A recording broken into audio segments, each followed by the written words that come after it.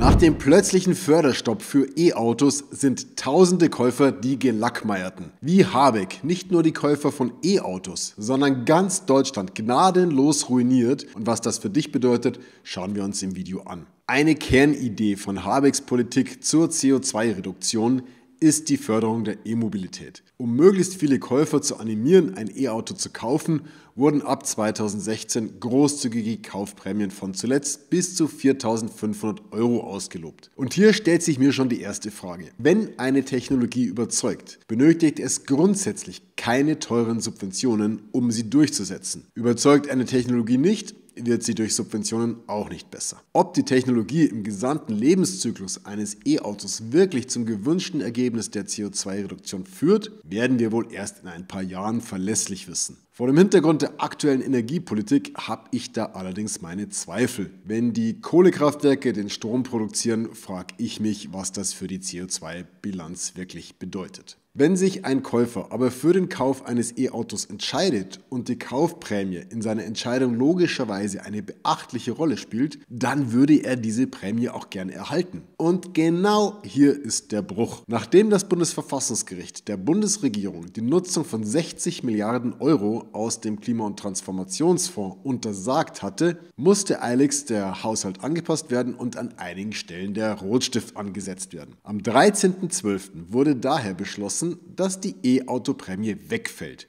Und zwar bereits ab dem 18. Dezember. Wirklich kommuniziert wurde das genau zwei Tage vorher mit dieser Pressemeldung vom 16. Dezember. Der 16. Dezember war ein Samstag. Selbst wer noch schnell seine Prämie beantragen wollte, hatte überhaupt keine Chance mehr, weil die Zulassungsstellen am Wochenende geschlossen sind. Brisant ist, dass Käufer, die ihr Auto zwar rechtzeitig bestellt haben, aber vor dem 18. Dezember noch nicht zulassen konnten, diese Prämie nicht mehr erhalten. Im Klartext, du bestellst dir ein E-Auto, meinetwegen im Oktober mit Liefertermin 20.12 und kalkulierst bei der ganzen Finanzierung die Prämie von 4.500 Euro ein. Und dann kommt die Regierung und streicht die Prämie einfach weg.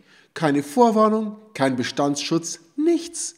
Einfach weg. Das bedeutet für private Käufer, dass sie nun netto 4.500 Euro mehr Belastung aus versteuertem Geld haben. Das entspricht einem Bruttoverdienst von ca. 9.000 Euro, für die meisten Menschen sind es ein paar Monatsgehälter. Eine Vorlaufzeit von weniger als 48 Stunden für eine Maßnahme, die Menschen mehrere Monatsgehälter kostet, ist der Todesstoß für das ohnehin schon angeschlagene Vertrauen in die Politik. Wie sich andere Branchen nach aktuellem Stand erfolgreich gegen solche Aktionen wehren, zeige ich gleich noch. Offensichtlich sieht das die Industrie aber genauso und springt in die Bresche. Gerade lese ich eine Meldung von Stellantis, dem Mutterkonzern von Opel, Peugeot, Fiat und Jeep. Stellantis will für Kunden, die ihr Auto vor dem kurzfristigen Wegfall der Prämie bestellt haben, die volle Prämie übernehmen. 80% will der Mutterkonzern zahlen, wenn die Händler die restlichen 20% übernehmen. Zahlt der Händler nicht, will auch der Mutterkonzern seinen 80% Anteil nicht übernehmen. Diese Ankündigung setzt andere Hersteller unter Zugzwang, die ziemlich sicher nachziehen werden. In einem ohnehin schwierigen Marktumfeld trifft das den Händler aber doppelt. Er muss für die 20% einstehen, ob er will oder nicht, und wird künftig deutlich weniger E-Autos verkaufen. Im November wurden bereits 25% weniger E-Autos zugelassen als noch im Oktober. Würden die Hersteller nicht einspringen, hätte das aber wohl zur Folge, dass massenhaft Bestellungen storniert würden oder aber vom Kunden einfach nicht bezahlt werden können. Dann könnten sich die Hersteller und Händler mit Stornierungen oder offenen Kaufpreisforderungen herumschlagen. Das Ganze ist einmal mehr der Beweis, dass auf staatliche Garantien kein Verlass ist. Wir sind also gut beraten, unsere wirtschaftlichen Entscheidungen weitgehend unabhängig von irgendwelchen staatlichen Förderungen zu treffen. Ist eine Investition sinnvoll, rechnet sie sich auch ohne Förderung. Kommt die Förderung hinzu, umso besser. Rechnet sich eine Investition ohne Förderung dagegen nicht, ist es nun mal keine sinnvolle Investition und sollte in meinen Augen nicht getätigt werden. Die finanzielle Eigenverantwortung muss im Vordergrund stehen. Wer sich auf den Staat verlässt, ist ganz offensichtlich verlassen. Welche Fehler Anleger mit ihrem eigenen Vermögen immer wieder machen und wie du sie vermeidest, zeige ich übrigens in einem kostenlosen Online-Workshop. Mehr dazu unter dem Video. Und damit sind wir bei der Automobilindustrie angekommen. Einst stolzes Herzstück der deutschen Industrie. Die Automobilindustrie hat Deutschland zu dem gemacht, was wir aktuell sind, beziehungsweise demütig muss man eigentlich sagen, was wir einmal waren. Politisch gewollt hat sich die Industrie von ihrer Kerntechnologie der Verbrennermotoren wo wir einfach Weltklasse waren, wo uns niemand was vorgemacht hat, mehr und mehr verabschiedet und voll auf den Ausbau der E-Auto-Flotte gesetzt. Beispielsweise hat Volkswagen für 1,2 Milliarden Euro in Zwickau ein ganzes Werk ausschließlich auf die Produktion von E-Autos umgestellt, weil man der Politik vertraut hat. Dort wird man wohl nun zukünftig noch mehr Arbeitsplätze abbauen müssen, als es bisher eh schon der Fall ist. Laut Professor Dudenhöfer, dem Automobilpapst in Deutschland, ist der Heimatmarkt der Schlüssel schlechthin, um neue Technologien zu entwickeln. Wenn die Subventionen gestrichen werden, werden E-Autos weniger interessant und die Hersteller müssen zweigleisig fahren. Also auf der einen Seite das E-Auto weiterentwickeln und gleichzeitig auf der anderen Seite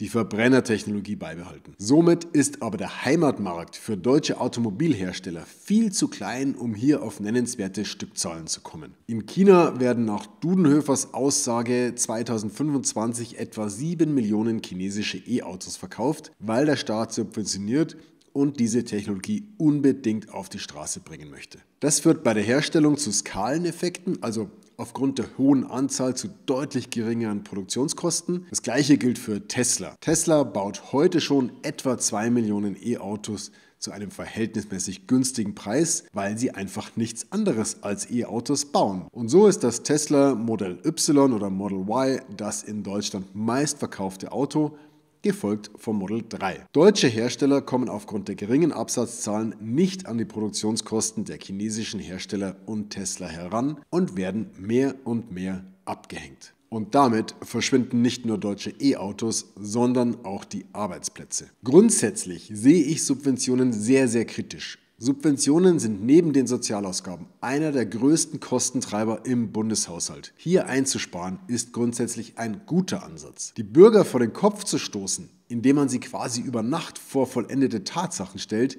ist aber unter aller Kanone und ein Offenbarungseid der Regierung. Im gleichen Zuge wurde den Landwirten auch die Vergünstigungen für Agrardiesel und die Steuerfreiheit für landwirtschaftliche Fahrzeuge gestrichen. Die Bauern sind daraufhin zu Tausenden in ihre Traktoren gestiegen und haben Berlin quasi überrannt. Bauernpräsident Joachim Ruckwied kündigte einen heißen Januar an, wenn die Regierung die Kürzungen nicht umgehend zurücknimmt. Und wenn die Bundesregierung diese unzumutbaren Vorschläge, und ich meine den Vorschlag zur Besteuerung unserer Fahrzeuge und den Vorschlag zum Agrardiesel nicht zurücknimmt, werden wir ab 8. Januar dafür sorgen, egal ob es Winter ist oder nicht, dass es einen heißen, einen sehr heißen Januar geben wird.